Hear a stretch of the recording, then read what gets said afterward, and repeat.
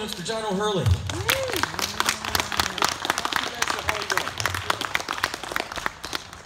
I'm uh, I'm going to do the Phil Donahue thing, sir. So if anybody has questions, to be wandering around making sure they get they get heard. That's lovely. Nice to be with you all today. Thank you for coming. Let's uh, let's make sure that the volume is up. Most interesting look of looking group I think I've ever spoken to. I think your volume is up. Yeah. Mine's good. All right. Very good, sir. Well, nice to be with you all. Thank you for being with us. I appreciate you. Um, so tell us, let's start things off. Tell us a little bit about how you got started in the business in the first place. What what drew you to stage and screen? Well, at the age of three, I had a large a lot of people that would be asking me the same question: What do you want to be when you grow up? And I remember responding to them by putting my hands on my hips, pointing to the black and white television that was over there in the corner of the living room, and with a sense of disgust that only a three-year-old can muster, I would say, well, I am an actor, so that's what I'm going to be. At the age of three, I knew that I not was going to be an actor, but that I was an actor. And every time I watched television, I always knew that I was supposed to be there. And so for me, growing up was just a sense of connecting the dots between then and now, and uh, and I always knew I defined myself as an actor, and um, so far I've been I've been doing okay. Young Master Tiger, what do you got for him? Other than uh, Kramer, I think you were the only watchable part of Seinfeld. like I watched it religiously at seven o'clock every night. It was syndicated up here, Uh-huh, uh-huh. and I, I love watching you like destroy Elaine. Uh, well, you know, thank you. That's very nice of you. I had nobody had more fun on Seinfeld than I did. Um, and I, I will give you a little um, side note. Not a lot of people know this, but the year after Seinfeld ended, I actually bought the J. Peterman Company. So the real John Peterman and I actually owned the J. Peterman Company. That's Uh, and fantastic. ev- ever since 19, ever since the year 2000, shortly, shortly after the show. I, uh, I basically liked the role so much I bought the company. I, I was going to ask about that. I'm sure you've probably answered this question a thousand times before, but when you were cast in that particular role, uh, were you? Did you already know Mr. Peterman? Had you met him before? I had never heard of the company before. I had never heard of anything associated with that before. In fact, I had never watched Seinfeld Okay. before I was on Seinfeld. And I'll tell you that what happened, uh, the way that it all came about. Uh, I had a show, a, a sitcom on uh, ABC called A Whole New Ball Game. And you'd have to go back into like 1994 and remember a series called Coach. Yeah. Uh, and it was it was a series that was supposed to parallel Coach and uh, and follow same producers. Anyway, the season the series only lasted three quarters of the season on ABC, so they called one morning as I was on my way to the studio and said, "Don't bother coming to work. They're pulling the plug on the show." That's the way they tell you. Um, so I went out to dinner that night with my manager, crying in my beer, trying to take the cancellation as personally as I possibly could. and uh, Larry David's office had called and uh, and said we heard the John's uh, series got canceled. Uh, we have this guest star this week, and we think it's a role that he could have a lot of fun with. Uh, is he interested? And so I told my manager, I said, tell him no. I said, "I- I'm still licking my wounds off Yeah. the, after uh, the, uh, can- the the cancellation of the series. So I went to bed that night and having said no to uh, to Seinfeld, and I woke up the next morning. My manager called and said, "All right, I didn't call them, so just get out of bed, go over there and have some fun." I said, no. and, and truth be known, I allow myself 24 hours to mourn anything. That's my limit. After that, I become kind of Self-centered, and I don't, I'm not happy. So, um, so anyway, I got uh, I got up, went over to Seinfeld, and they were the most disorganized show on television. They hadn't finished the script for that week. All they had was a few pages of dialogue and the J. Peterman catalog, which, if you've not seen it, is the most unusual catalog in the world. It is um, romantic wear, uh, one of a kind type of clothing. Uh, it's, uh, it has a long Hemingway story uh, attached to an Oxford button down with the price, size, and, and availability. It's the strangest thing I had ever seen.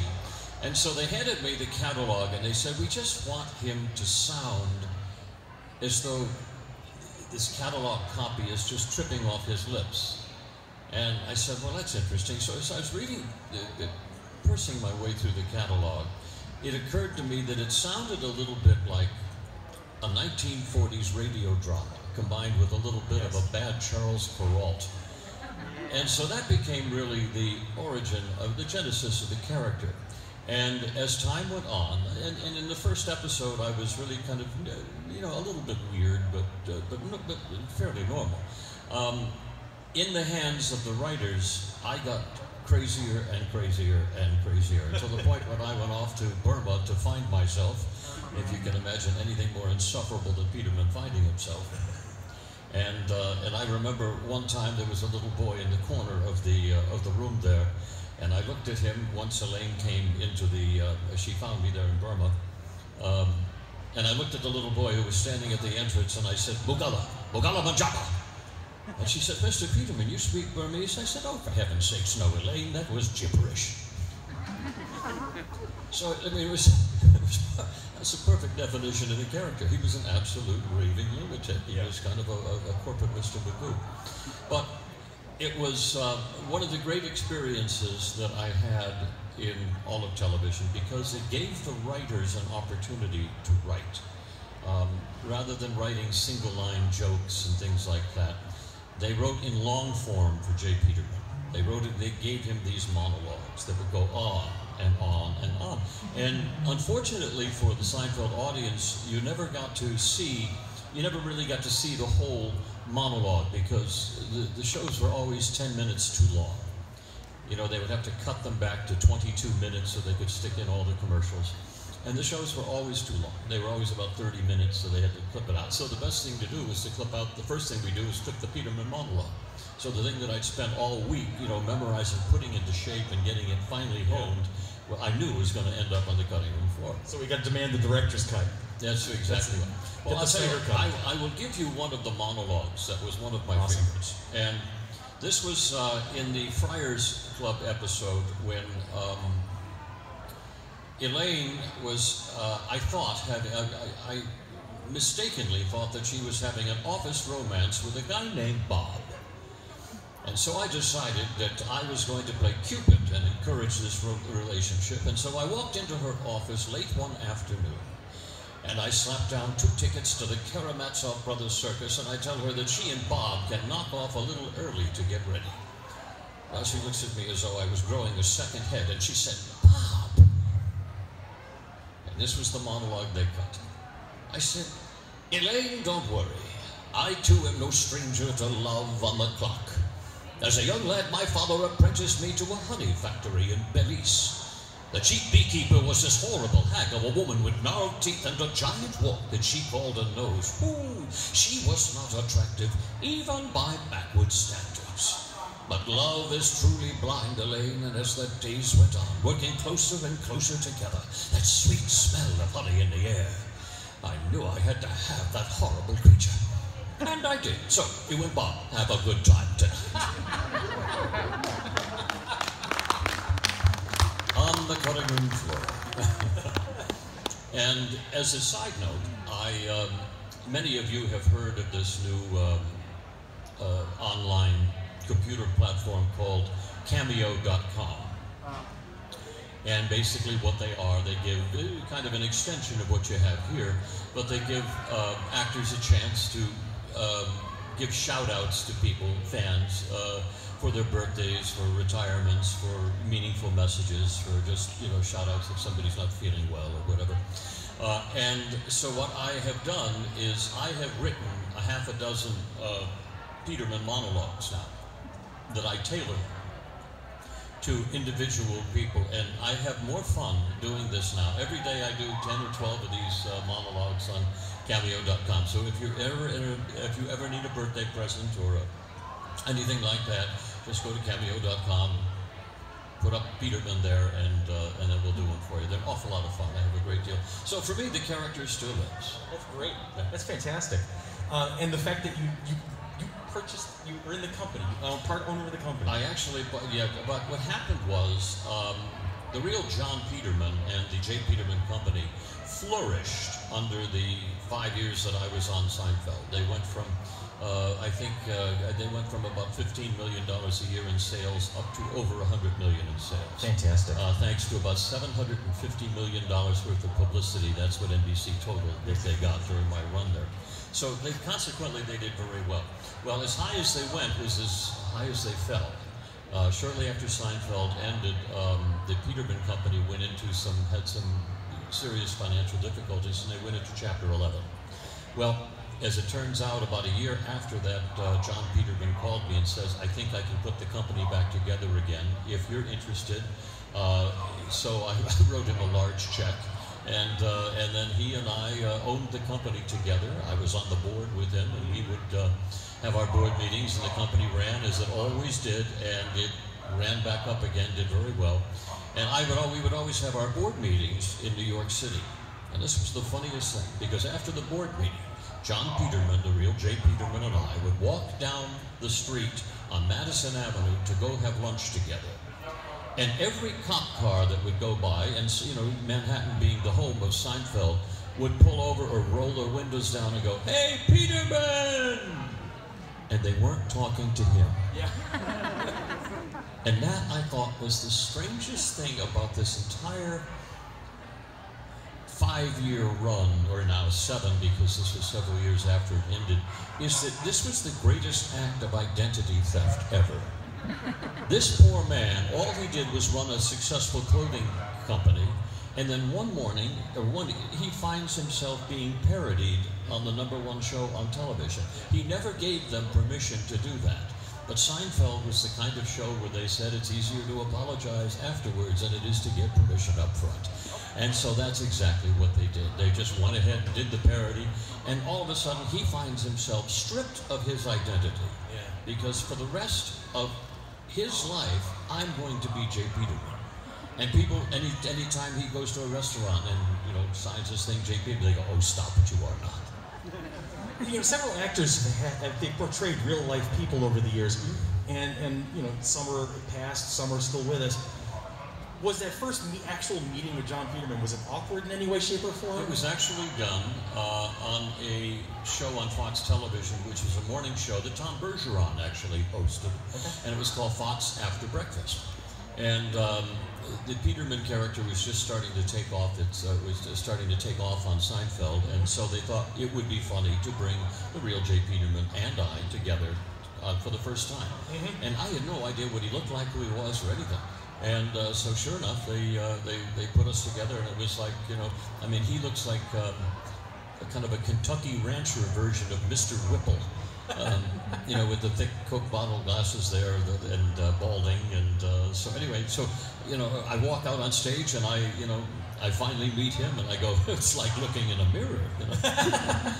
um, so it was, uh, but he and I became very good friends after that. And I, he would, uh, I would send him wine and he would send me clothing. So it was a kind of a nice barter. But we get, uh, and, and to this day, we still have uh, kept a very nice, cordial relationship. That's great. That's a, that's a fantastic story. I did not know the portion where you had become part of the company. So that's that's an amazing thing. Does anybody else have questions for Mr. O'Hurley? Yes. I'm going to start right here and I'm going to work my way back. I see all of your hands. I'll go ahead. Um, when you did the uh, when you were the guest star for the uh, the Drake and Josh episode, like uh, the approach for that, like how did like how did that come about when you were getting like tasked for that, or and the approach with the whole? I, I'm trying to remember. I was playing a doctor. Was that You the were one where I was playing playing the a doctor? Yeah, you were like you were like you're Doctor Nussbaum. Oh yes, that's right. Yeah, I was a uh, a doctor on soap operas. I wasn't. I was. I was a. I Yeah. wasn't a real doctor, was I? No, you were the real doctor. Drake was impersonating. Oh, that's why he was impersonating me. Yes, yes. He was Yeah, impersonating You know, I, I barely remember that. I hate, I hate to, to, to burst the bubble on it. I, I might have been on a 13-day Chianti binge. I don't know, but, um, but I, I, do remember doing it. But I also did another episode, I think, on Drake and John. I think I did um, I know you did that. Unto Unsolved Mysteries. I think I did that. It was uh, it was that episode. I think it was I did one about a year later as another character. That's why I'm kind of confusing. But I honestly don't remember all that well. Um, I, I've done. I think I've guest starred on over a hundred shows, um, and not one is still on the air. By the way, I have a habit of killing them. I'm going to come over here, and then I see some hands over there, so I'll be over there in a moment. Uh, what was it like being on Family Feud? Because you were one of my favorite hosts. Oh, thank you, thank you. Well, I had, you know, I had a wonderful time. It, it, it was, believe it or not, not the first game show that I hosted. I years before then, back in shortly after Seinfeld, I hosted a show called um, "To Tell the Truth," which has the game-honored phrase or time-honored phrase, "Will the real so and so please stand up?" Uh, and it was a wonderful show. I, and that was truly, I think, if I had to look back on anything, uh, that was my favorite show. But then Family Feud came along, and I had a wonderful time doing it. And what I loved about Family Feud was that it trained your instincts to be funny. Uh, because I had no writers, I had nothing else other than my the head of me, the head of my shoulders, and I literally had to walk out on stage every time and say, "I'm going to leap and let the net and let the net appear." And that's what I did. And uh, I just had to trust that what I had in my head was enough uh, to be funny and to move the game along at the same time and to treat it like a cocktail party. Uh, which is kind of what I did, and I had the best time doing it. Now, coincidentally, I still be, I, I, did leave the show at one point because I was starting to feel the show was becoming kind of a, a kind of a dirty, kind of a quiet, dirty joke, and and it was a family show, and I was getting some awful fan stuff, and I'm going, I, I don't want to do this anymore. It's just not. It's becoming too much of a uh, kind of a penis joke, and I said I don't want to do it. It's not my style. And they were also moving the show down to. Um, down to uh, Universal Studios down there in, in, Orlando, and I said, well, that's where game shows go to die. You know, so I uh, we parted ways and uh, quite happily, and uh, Steve Harvey's got it now. He's doing a great job with it. So it's in somebody else's hands. But I had a great time. I, I really had a great time doing it. There was a lot of fun. I will tell you, uh, it, it gave me a chance to be around people who are otherwise intelligent human beings who, when you turn a camera on, all of a sudden they become absolutely dumb as a box of rocks. Um, I had two guys that looked both like college graduates come up to the uh, to the face-off there, and and I started off by saying, "All right, um, we surveyed 100 people. Top six answers are on the board. Name a classic film that begins with the letter C. C." and you would say Casablanca, Citizen Kane, Caddy, Caddyshack. Caddy, Caddyshack was one of them. They, all of them up there. And the guy looks at me and goes, ah, Seabiscuit. oh my God. You can't make that up. Seabiscuit. Yeah, but fun time. I really enjoyed it. Thank you very much, though, for saying Good question. words. Yes, sir. Uh, what advice would you give for an upcoming actor if they wanted to find work? Jesus, if you can find it, let me know. Sorry, that was a. Um, you know, the, the, business is so much different than when, I mean, it, sounds like a cliche to say, but it, it truly is. I don't recognize the business that I'm in anymore. And that's because it's become so fragmented and so marginalized into these tiny little mini things. Um, that no longer represent the structure that we used to have. We had three networks. We had movies that you did, um, and then uh, and then in some cases they would go to this thing called home box office, which was not a box office at all. It had been prepaid. Um, and so that was like the new innovation when, I was starting off in the business. Um, and there was, an, you know, Broadway had its Broadway shows, and there was dinner theaters, and there were touring companies. And were established vehicles for an actor, definitive things. Today, not so much. Today, you can take your camera and you can shoot a movie. And you can cast everybody in this room if you wanted to, and by the time you finished in an hour and a half, you'd have your own movie. And you can download that now, and you send it over to a place called YouTube, and people will watch it. And if enough people watch it, you can then sell sponsorships to it, and or people will pay for the ad time. It's it's a whole other world for actors right now. So my my answer to them when they say, "How do we get work?" It's it's my answer is, "How do you create work for yourself?" Because if you want to wait for somebody to give you a call, there's a long line of people ahead of you. Um, so it's you really have to be your own advocate. And how do I create work for myself? I'll tell you what I do, and I'll give you an example of this. Uh, I do a great deal of spokesman work, spokesman for, for major companies and what have you. Uh, I don't wait for my agent at William Morris to call me and say, well, we have, you're now going to be the spokesman for Coors. I go to Coors and I say, I have a really good idea for you. And that's how I end up doing most of my work.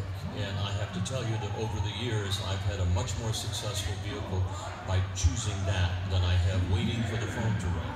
So I would encourage you, a quick, a quick answer to your question is create work for yourself, and you'll always be employed. Do, do you find it that you're now that you're advocating for yourself, that, was there any pushback at that originally? Like a lot of the, the old school people who talked to me in the past, they said if I didn't go through my agent, I was in trouble. But do you feel that advocating yourself seems to be a lot more easier these days? I also don't include my agent in it. See, there you go. There's no 10% for him because he didn't bring that deal to me. Skip the middleman. That's exactly right. I cut him right out and I said, if I'm going to be, if I am creating the campaign and I'm creating the actor, what do I need you for? Right. Right. Very good. Okay, um, what was it like playing King Neptune on SpongeBob?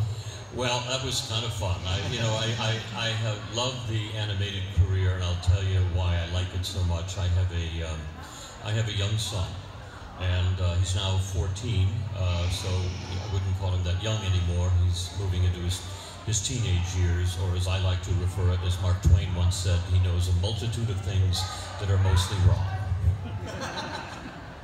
but that being said, I have enjoyed thoroughly the 14 years of doing uh, animated shows, these characters like King Neptune, um, because it gives him, or gives me a body of work that he can watch. Um, you know, there's if I'm doing other TV, nighttime TV series, it's just not interesting to them. But because I have 15, 20 cartoons that I do, um, all the way down, I mean, I'm Mr. Slate on the Flintstones, I'm Walter Bunny on Bugs Bunny, I, uh, Skipper Shelton on um, Scooby Doo. I mean, a lot of other things besides uh, the more prominent ones like uh, Phineas and Ferb and, uh, and uh, King Neptune on, on SpongeBob. But you know, the, the, what I love about animation is that it's really on your schedule. They're not sticking to a real clock. So I can be anywhere in the world and still do my work. I, I, was over in England one time and recording a show um, over the airwave, I mean, over the, you know, digital media there in the studio, but recording in LA. And that, you know, some 15, 14 hours apart. So, I mean, it, it's, a, it's a wonderful world. It's a wonderful world because you can show up and work in your pajamas. But it's one, and it's also large and big and expansive. And, and you know, King Neptune with the SpongeBob, that was quite a breaker. All right, where's some hands?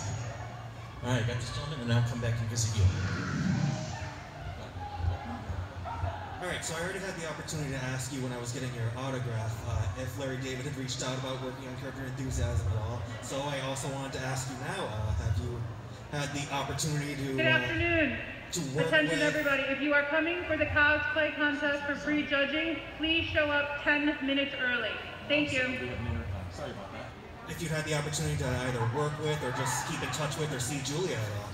Uh, we, we keep in touch. We have not worked together uh, since, uh, but we're, you know, I do a lot of charity work and she does as well. So we end up showing at a lot, showing up at a lot of these fundraisers and uh, charity dinners and things like that. And, you know, we'll always stay, you know, wonderful friends. We're all, I mean, we're all fam- it's all family. You know, you, uh, you know, all the guys that I work with, like Patrick Warburton, Bryan Cranston. I mean, these are all part of my family. I mean, these are all best friends of mine. So you know, they, you, you stay close because the, the business is actually very small. It's not a big business at all. I got to meet Patrick. He's fun. Yes. He's a great, great guy, dear, dear friend. Where'd you meet Okay, back here. Uh, in addition to all of your TV roles, I know you also do some live stuff, Broadway, that kind of thing. Any good stories about some of your live shows? Um, I, I have um, a, a long uh, Broadway career uh, that started actually back in 1981. Because when I went to New York, I really was there to. Um, I was there to be a working actor. I mean, the idea of being in television or film or anything was so far beyond me because I really didn't have a, an example of that in my life. It was a very foreign medium for me. So I truly went to New York to be a stage actor, and I would have been very happy if I had just gone from repertory theater to repertory theater around the country. Um, and uh, so, but I will tell you a, a- and, and this is one of the first times I've told this story. How, how old is everybody in the room here? Okay, this is this is a good one. Um, Brace yourselves. I, I, I always prided myself on making my living as an actor. And I never had to do anything else. I was never a waiter or anything like that. I always, but it didn't mean that there were some very difficult times. And I remember one time I went over to the uh, Federal Credit Union at Actors Equity and I tried to uh, take money out of the bank and they said, no, you're below the limit, we'll close the account. So I had less than $10 to my name.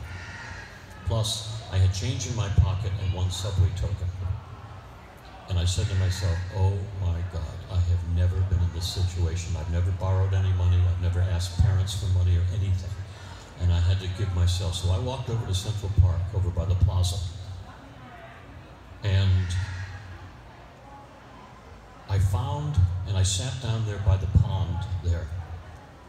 And I found a copy of the Village Voice that had been all rolled up. And, I, and back, this was back in the early 80s. And it was a time when uh, all of the part, all the part-time jobs that were in the classifieds in the back of the Village Voice. That was the, because that was the weekly publication that came out. So I was looking through and I said, I've got to find a part-time job. This, I just got to do it. I've got to bite the bullet and I just got to find something, but I don't know what I can do. Well, I came from West Hartford, Connecticut, and I'm a little not, I grew up very, very naive. So that as I'm flipping through the part-time jobs, I'm like, okay, okay. Oh, here's one. It says male escort. I had no idea what a male escort was. I just knew that from the classified ads, I could earn up to $1,200 a week as a, as a male escort. And I'm going, well, this is a pretty good thing.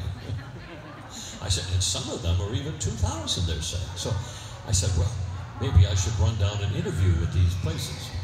So I walked back to 98th Street where I was living in Manhattan.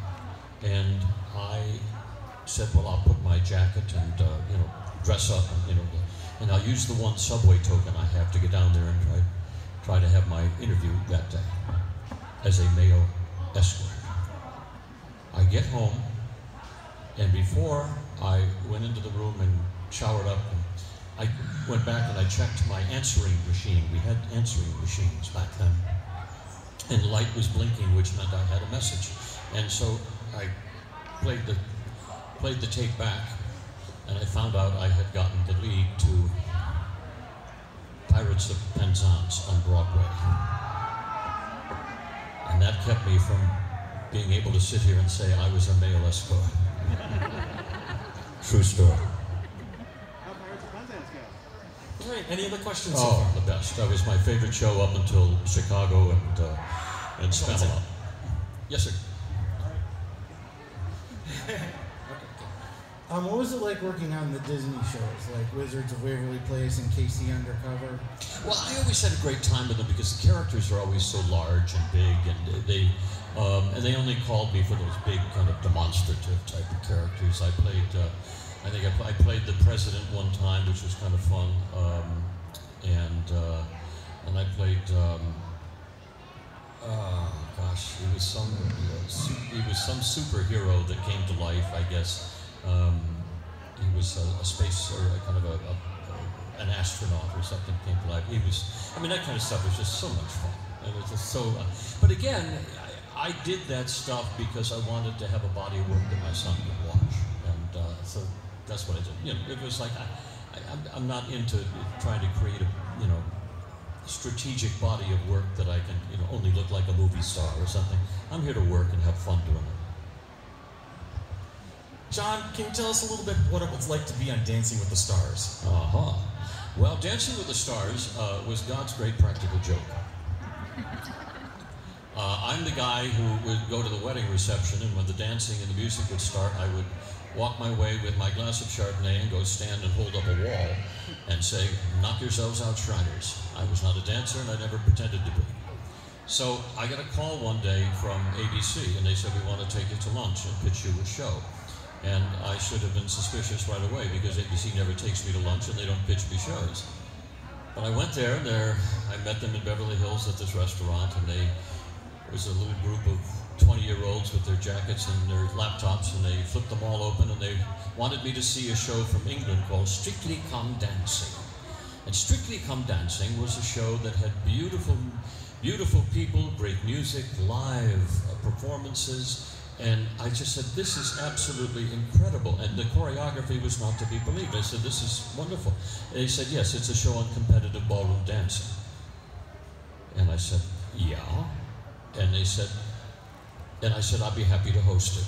And they said, no, we want you to do it. And I said, no, I'll host it. And they said, no, you'll do it. And I'm going to tell you something, ladies and gentlemen. I always live by my imagination, not my rational mind. My rational mind will always lie to me. My imagination doesn't lie. It can't lie to me because all it knows is what I'm capable of. And I saw the picture in my head of being a success on this show. And I said, I don't know how to ballroom dance, and I'm almost 50 years old, so shame on me. So I said, all right, I'll do it. Who else have you got? They said, You're the first person we've asked. But now that we have you, we know we can get Evander Holyfield.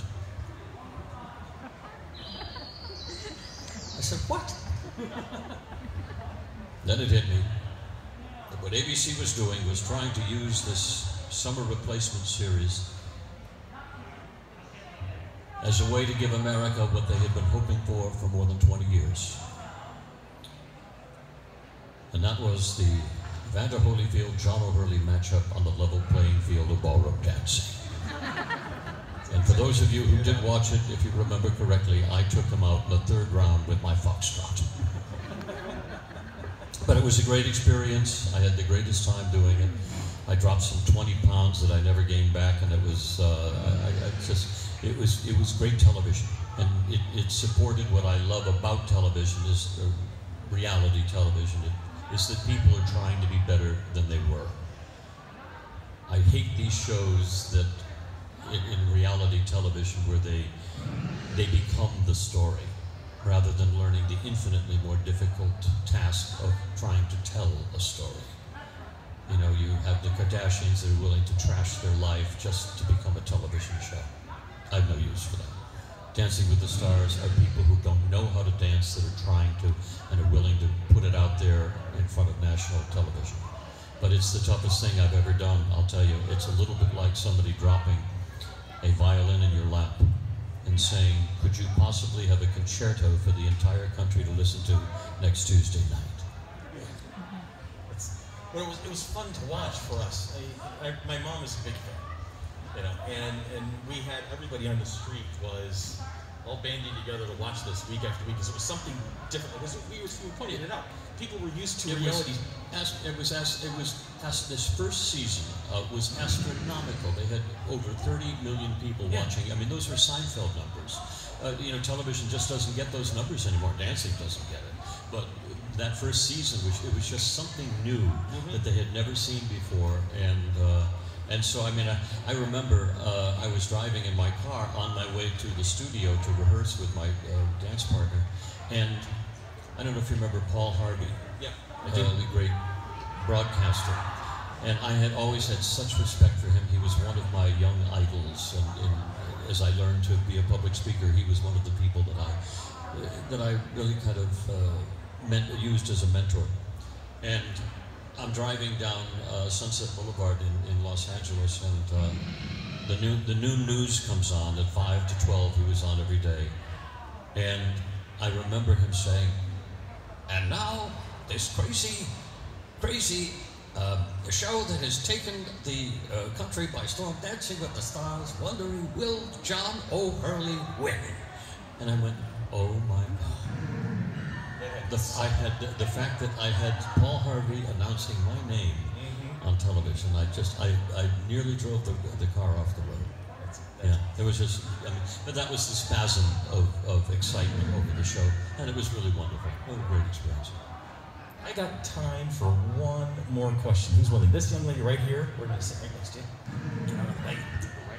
All right, so can you tell us a little bit about hosting the National Dog Show? Are there any like funny behind the scenes stories? Yes, well, um, yes, this Thanksgiving, um, I, I do a lot of different things. I've had a crazy career because I've always been lucky enough to put my finger through the belt loops of some really great franchises. Seinfeld was one of them, and certainly um, I got a call from NBC Sports back in 2002. Um, and I picked up the phone and I said hello, and on the other end was the head of NBC Sports, and John Miller, and he said, um, I said hello, and he said, Wolf Wolf. And that's how it all started. Uh, with the, he had taken Best in Show home uh, that night, or over the weekend, and he had watched it. It was that, the parody Best in Show, a wonderful, very funny movie. He came back Monday morning and said, um, we're going to do a dog show. And they about laughed him out of the office. Because they had that two hour space between the Macy's Thanksgiving Day Parade and football that they never had anything that they could fulfill with any sort of certainty or any great ratings. And they would show It's a Wonderful Life or something like that. They would lose their entire audience from the Macy's Parade. So um, he called me and he said, uh, I want you to do a dog show. I said, okay. And once again, I listened to my imagination. I said, okay, for some reason I'm supposed to do this. So I said, okay. That was 20 years ago. And it is now our 20th anniversary of this Thanksgiving. And it's, uh, you know, the fact that I have not killed the show by now is, I think, a, a real testament to how powerful dogs are. Um, but I started off uh, with, uh, I, I will finish with a joke here. Uh, and it's, uh, it, it's an, actually a true story. Um, I didn't know much about dog shows. I'd never been to one, never seen one when I started hosting them. But fortunately, I had the most knowledgeable man in the world of dogs, David Frei, at my side, and so I had to live in his shadow for quite a while. The first year, they brought up the old English sheepdog to the judge, and if you don't know what an old English sheepdog is, it's 80 pounds of hair and 2 pounds of actual dog. And the judge, this elegantly gowned woman, walks around to the back of the dog and starts picking through all of the hair, putting her hands all over the back of the dog. And I said to David, I said, David, can you explain what she's doing? He says, Johnny, she's putting her hands on the dog. To make sure that the shoulders and the hips align with the written specification of what the perfect Old English sheepdog should be. He said, because you can hide a really bad dog with a really good haircut. And I said, you're telling me I went to junior prom. So she walks around with the front of the dog and she starts picking through all of the hair on the dog's head. I said, David, can you tell us what she's doing now? He says, John, she's trying to find the eyes. To gauge the attentiveness of the animal. I said, really? I said, well, if she picks through all of the hair and she finds only one eye, she's got the wrong end of the dog. Things I have no business doing. Well, I'll thank you very much. I think that was the last question. but thank you all. It was a lot of fun. I had some great time with you today. If you haven't stopped by our booth, and, uh, please do come by and say hi. Thank you. Thank you, Mr. O'Hurley. Appreciate that.